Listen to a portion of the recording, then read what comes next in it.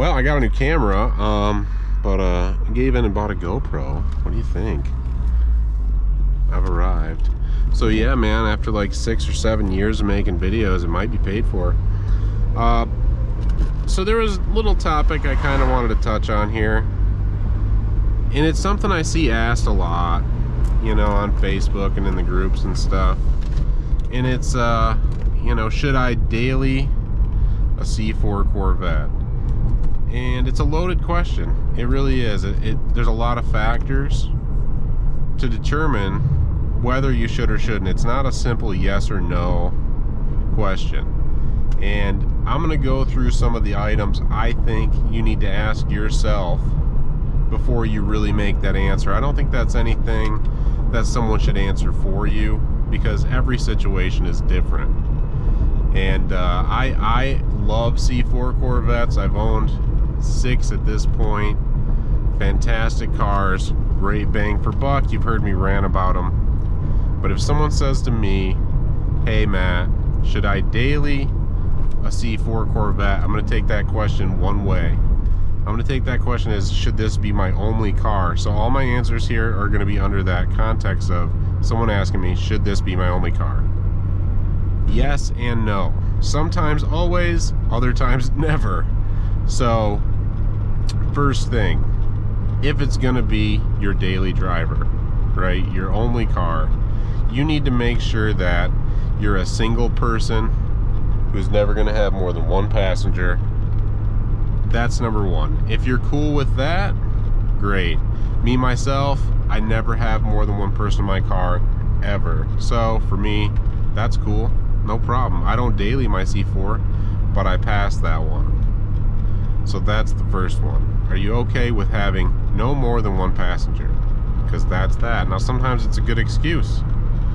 You know, people can ride with someone else if you're antisocial like me. So the next thing is, okay, how much cargo space do you need? Well, actually, not a big issue in the Corvette. There is ample room back there.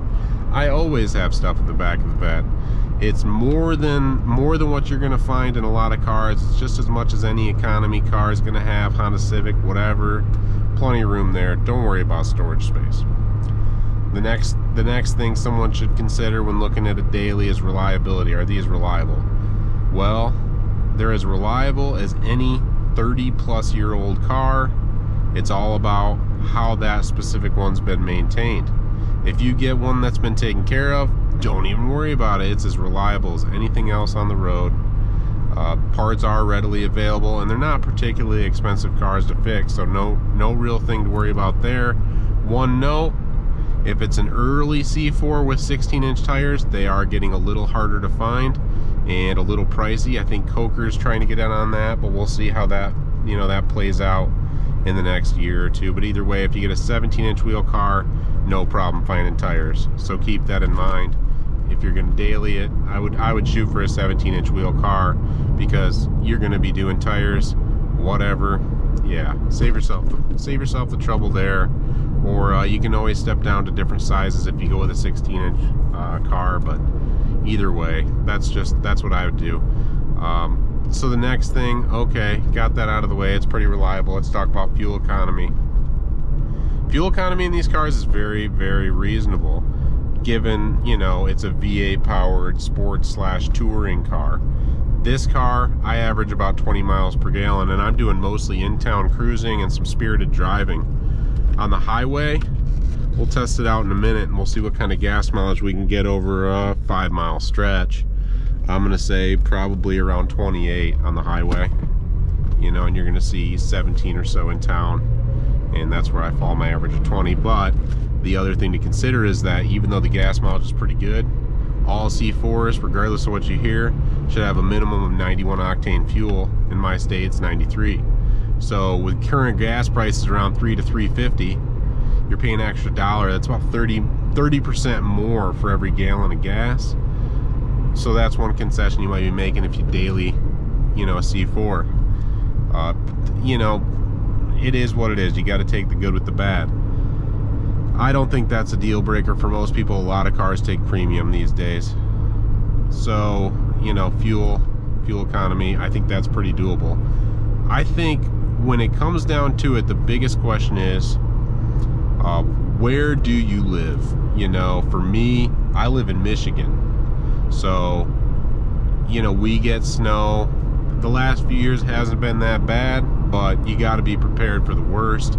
So, this car is never going to work for me for 365 days a year. If we get a foot of snow, I don't care if I've got Blizzaks, I'm stuck. And some guys get a real hard dick over, you know, oh, I drive mine in the winter. Yeah, some guys might drive theirs in the winter, but do you want to rely on it every day? Hell no. But if you're further south, where uh, snow is not an issue for you, you know, if you're in an area where you get maybe one light dusting a year or no snow at all, all right, you passed that test. I'd see no issue there. Um, trying to think. So we've covered that. Fuel economy, you know, no more than one passenger. Um, maintenance costs are pretty much, you know, just like anything else. Fun factor is obviously a lot higher than your average Civic. Um, let's check the fuel economy out here, just cruise on the highway, see what kind of instant we can get. The instant uh, fuel economy here, for me it's been pretty accurate. I, I've checked pump math uh, a few times, and it, it, matches this within one or two miles per gallon, so it's close. Uh, let's get up to speed here. Got the AC on, uh, doing 70 miles an hour.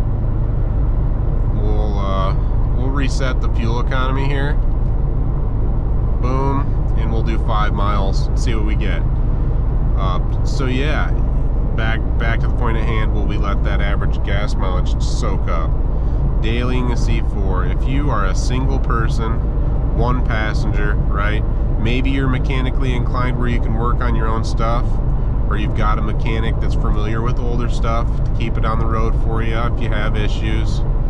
If uh, you're okay with premium fuel and about 20 miles per gallon and you live in a fair weather state and by that I mean extremely minimal to no snow at all then yeah I'd say you can absolutely daily a C4 Corvette and I bet you're not the only person to do it you know I've seen other people say that they daily theirs in the groups but most of them are younger kids you know, and they really don't give a shit about the car and they're doing it in snow or whatever. But in a fair weather stay, I say no harm, no foul. You could drive one of these cars 200,000 plus miles, no issue. My Pro-Charged LT4 had 220,000 miles on it before it blew up. I don't even think the Pro-Charger went on until 180, 190,000 miles, and it still lived a little longer. So, yeah, there's it's all it's all simple stuff. One thing I'd recommend if you're a car enthusiast and you're on the fence about automatic versus manual, don't even question yourself. Get the manual. It will take longer to find, but if you get an automatic and you truly want a manual, you will regret it. It's far less engaging. It's still a great touring car and a great comfortable car, but uh, you'll miss the engagement factor. But yeah, we're out here cruising on the highway. Uh, extremely comfortable. These seats are great. You know, these are great back road car corner carvers. But at the same time, you can hop on the highway and drive in extreme comfort all day long.